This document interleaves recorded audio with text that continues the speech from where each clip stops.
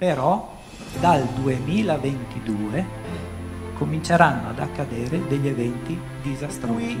Se lui mi dice che questo fenomeno è irreversibile, io mi sento di credergli e mi dice anche però che la nostra fisica attuale non può fare nulla. Grazie a questa conoscenza forse troviamo una soluzione per aggiustare questo enorme problema climatico in cui questo salto di conoscenza è il più grosso salto di conoscenza che sia stato fatto mai dall'uomo sulla Terra. La verità autentica è sempre inverosimile, è troppo inverosimile, forse per questo è vera.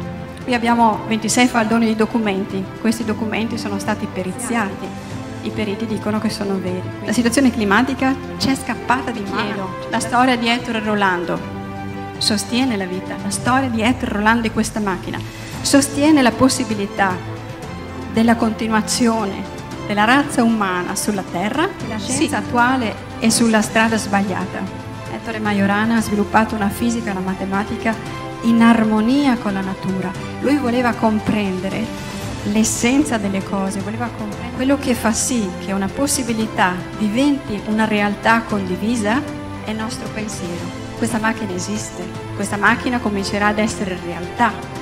È la nostra scelta, è la nostra sensibilità, è la nostra responsabilità, credere o non credere. Noi abbiamo fatto la nostra scelta e in qualche modo anche voi e lui li sospinse ed essi volarono.